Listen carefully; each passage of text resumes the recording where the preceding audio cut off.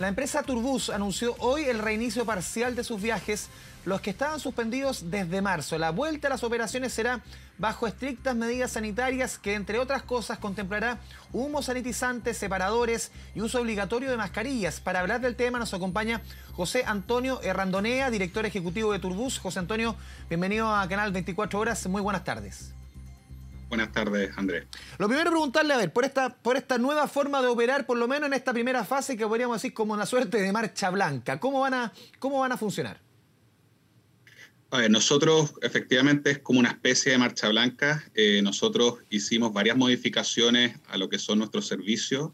Eh, eso incluye protocolos nuevos para las tripulaciones, eh, recomendaciones para los pasajeros y modificaciones importantes en lo que son los buses. Y, esto lo haremos a un nivel muy reducido. Básicamente mm. estamos hablando en torno a un 2% de la flota, que es lo que debiera partir el próximo sábado. Y ahí, en la medida de que mejore la situación del país y, se vayan liberando ciertas restricciones, la idea es ir creciendo, pero este inicio nos va a permitir entender mejor cómo mm. operar en, esta, en este clima de, de, de cuarentenas y de, y de restricciones sanitarias y con eso ir avanzando gradualmente a, ir recuperando nuestra operación habitual. José Antonio, estamos, estamos viendo algunas imágenes justamente de apoyo. Tú seguramente no las estás viendo, no las estás viendo porque está medida eh, vía Skype, pero estoy viendo aquí, por ejemplo, que hay unas micas instaladas entre cada asiento, por ejemplo. ¿Cuáles son las diferencias que va a haber un, eh, pasajero al momento de subir al bus? desde, desde el momento de comprarle el ticket, ¿cuáles son las diferencias respecto a un viaje antes del coronavirus? Claro, primero que todo en lo, que es compra de ticket, eh, la, primera gran diferencia es que estamos fomentando lo que es todo web, básicamente. Eso implica que las planillas, por ejemplo, de pasajeros que habitualmente se llenaban en los buses, se está promoviendo que se llenen de manera anticipada eh, en un link especial en la página web.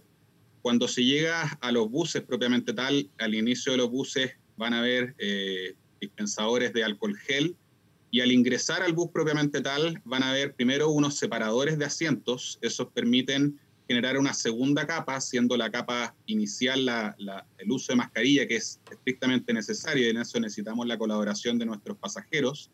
Pero además entre asientos habrá una separación, que es, una, es, un, es un pliego básicamente de PVC transparente y que permite hacer una segunda aislación entre los pasajeros. Adicionalmente, una cortina plástica, estamos viendo ahí es como una, efectivamente es como una cortina plástica y genera nuevamente una segunda capa. Y adicionalmente por sobre eso también modificamos los filtros de aire. Eh, habitualmente los filtros tradicionales de buses eh, capturan alrededor de un 65% de las partículas, los cambiamos por filtros de carbono activo y esos capturan un 99% de las partículas, entonces claramente hay una diferencia importante. Y por sobre eso, que también creo que es importante resaltarlo, está todo lo que son los protocolos, que quizás no es tan visual, pero han habido modificaciones muy relevantes en lo que es nuestra forma de operar y que la estamos certificando con AENOR, que es una empresa española que ha certificado a, Renfe, que es el Ferrocarriles del Estado en mm. España, a, ALSA, que vendría siendo el equivalente a Turbus, la empresa más grande de transporte interurbano en España en buses, y a la MT, que es lo que vendría siendo el Transantiago. Y eso nos da también tranquilidad que todo lo que estamos haciendo está certificado y va a estar auditado además trimestralmente. José Antonio, importante, eh, tú lo mencionabas eh, recién, un 2% de la flota más o menos estaría operativa a partir del próximo sábado, si, bien no, si no me equivoco. ¿Cuáles son los destinos que van a estar habilitados? Eso es muy importante. Sí, nosotros en esta primera fase estamos buscando darle conectividad a aquellos que ineludiblemente tienen que viajar eh, a pesar de las circunstancias. Entonces estamos conectando las principales ciudades. Para el norte vamos a tener trayectos de idas y de vueltas hacia Arica, pero eso implica conectar La Serena, Copiapó, eh, Iquique, Antofagasta. En el norte mismo estamos haciendo un trayecto que une Antofagasta con Calama, que hay bastante circulación entre, entre esas dos ciudades. En el centro, Iraviña, Valparaíso y Rancagua desde Santiago. También hay mucha circulación habitualmente en escenarios normales de gente que va por trabajo. Y por último, un trayecto largo al sur hasta Puerto Montt, pero pasando por ciudades intermedias como Los Ángeles o Osorno, etcétera, para también generar conectividad de subida y bajada de personas en, en cada uno de esos puntos. Sí, justamente José Antonio, en estos trayectos más largos, tú decías, por ejemplo, Santiago-Arica, Santiago-Puerto Montt, con, con eh, escalas, podríamos decir, entre medio. También la persona, no sé, una persona puede subirse en Copiapó y llegar a Antofagasta, dependiendo la, si, hay, que, si hay disponibilidad. Cuéntanos un poquito cómo va a funcionar eso. Claro, esa es la lógica de este trayecto, que es como agarrar el troncal, digamos, de la mm. Ruta 5 y que gente que pueda hacer esas combinaciones siempre y cuando esa combinación se haga en terminales. Una de las medidas también que nosotros vamos a hacer es evitar, o sea, prohibir directamente la subida de pasajeros en el camino, en la carretera. Nosotros queremos que los pasajeros suban en terminales establecidos porque en esos terminales existen filtros y aduanas sanitarias que permiten asegurar eh, la mejor medida posible de que la gente que va a subir a los buses son personas que ya pasaron por una declaración de salud, y que, no están en la lista de personas con cuarentena. Entonces, si bien se da esa posibilidad, la, la, gran diferencia con los trayectos habituales es que nosotros no vamos a recoger pasajeros que estén en puntos intermedios, sino que recogeremos en terminales para asegurarle a los pasajeros y a los tripulantes que la gente que suba es gente que ya pasó al menos por un filtro sanitario público. José Antonio, la frecuencia, también es importante la frecuencia con que van a salir estos buses a su respectivo destino. O sea, para partir, nosotros partiremos con una frecuencia de Santiago a Arica, que es un trayecto al día, uno desde Santiago hacia Arica y otro de Arica hacia Santiago, y que naturalmente va pasando por toda la ciudad intermedia. En el caso de Antofagasta y Calama son eh, dos servicios diarios de lado y lado. Para Santiago a Viña, Santiago del Paraíso y Santiago Rancagua debiéramos hacer ocho servicios al día y Santiago Puerto Montt la misma lógica que para el sur, es decir, un servicio que parte de Santiago a Puerto Montt y un servicio que, parte, que va de Puerto Montt a Santiago cada día. José Antonio, a ver, haciendo un poco un, raconto de lo que ha sido estos últimos cuatro meses, no solamente han sido durísimos en materia sanitaria, durísimos en segundo lugar en materia económica. ¿Cómo han enfrentado ustedes como empresa? Obviamente han tenido, lo, lo decíamos en la presentación, paralizar absolutamente. ¿Cómo han hecho el, tema con sus trabajadores? ¿Cómo, ¿Cómo se han manejado como, como, como compañía en estos, en estos 120 días ya. Sí. A nosotros, a pesar de, de, la larga historia que tiene esta empresa, más de 70 años, nunca en la historia, incluso en acontecimientos bien complejos que ha, que tenido el país, habíamos parado los servicios. Esta es la primera vez. Y, y lo hicimos con una convicción de que, de que naturalmente eh, la operación tradicional de servicios de transporte interurbano eh, requería ser analizada completamente y requeríamos ciertos filtros también eh, gubernamentales, sobre todo para que la gente contagiada no subiera los buses.